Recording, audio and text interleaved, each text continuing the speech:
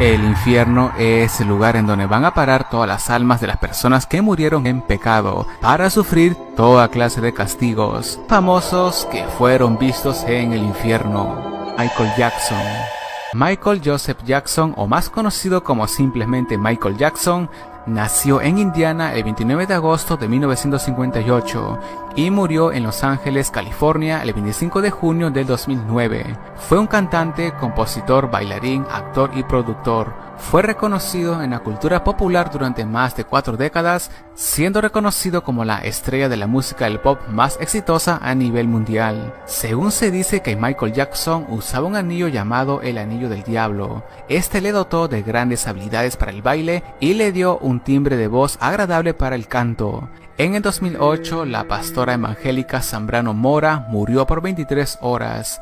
Ella cuenta que fue enviada al infierno y desde allí vio al cantante Michael Jackson. Vio como Michael tenía el cuerpo deshecho y totalmente deformado, y su carne se le caía en pedazos, y al lado de él habían varios demonios. Estos lo hacían bailar aunque él no quería y estos demonios se reían a carcajadas de él. La pastora dijo que le estaba hablando en su idioma pero no le entendió y también decía que el cantante suplicaba por piedad. Juan Pablo II Karol Joseph Wojtyła, o más conocido como Juan Pablo II, nació en Polonia el 18 de mayo de 1920 y murió en la Ciudad de Vaticano el 2 de abril de 2005. En el segundo aniversario de su muerte, al sur de Polonia se encendió una hoguera cerca de la casa natal de Juan Pablo. Mientras se prendía la fogata, un fotógrafo hizo una captura impresionante.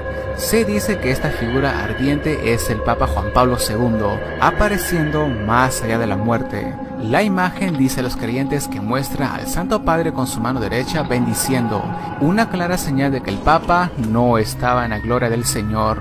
La pastora brasileña Yonara Santo y la joven ecuatoriana Angélica Zambrano Mora, ambas aseguraron haber visto al Papa II en el infierno. Angélica, quien estuvo muerta por 23 horas, el Señor la llevó al cielo y al infierno. Ella le preguntó a Jesús por qué el Papa estaba en ese lugar y Jesús dijo que era por haber negado que el infierno existe y por haber enseñado a adorar imágenes y estatuas cuando sabía perfectamente que en la Biblia dice que están prohibidos.